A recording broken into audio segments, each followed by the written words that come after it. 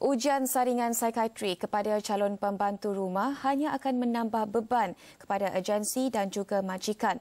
Pengurus Besar Agensi Pekerjaan Sri Nadine Sendian Berhad, Fiona Low berpendapat selain meningkatkan kos pengambilan, ia juga bukan perkara mudah untuk dilaksana.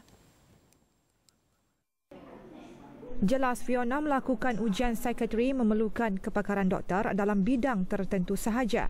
Pengujian psikiatri itu bukannya satu perkara yang kecil ataupun yang senang.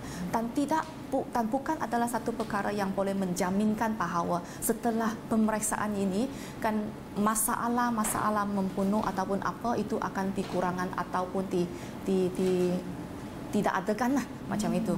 Sebab psikiatri pada masa sekarang sebab masyarakat sekarang kan sudah banyak orang mempunyai tekanan yang besar dari mana-mana betul tak ya kan ya. jadi kalau kita mengatakan bahawa pembantu ini harus dijalankan psikiatri saya rasa kebanyakan manusia di dalam dunia ini juga perlu dijalankan satu pemeriksaan psikiatri termasuk kau majikan yang ambil pembantu itu juga Selain itu, penyakit mental tidak dapat dikenal pasti dalam tempoh singkat.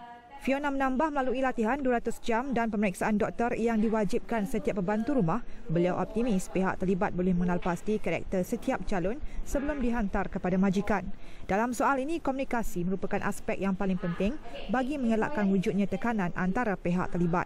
Fiona mengulas mengenai beberapa cadangan mengadakan ujian saringan psikiatri terhadap calon pembantu rumah sebelum diambil majikan. Ia susulan tragedi menyayak hati membabitkan dua beradik yang dikelar pembantu rumah sebelum mengelar dirinya sendiri di Sungai Buloh minggu lalu.